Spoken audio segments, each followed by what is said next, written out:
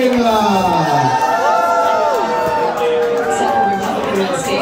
Florida, Kentucky, North Dakota, Montana, and Oklahoma, are considering legislation that will ban drag shows in public.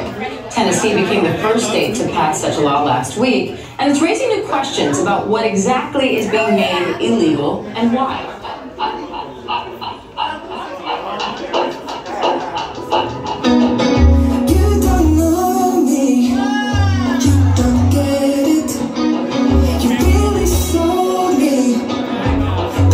lonely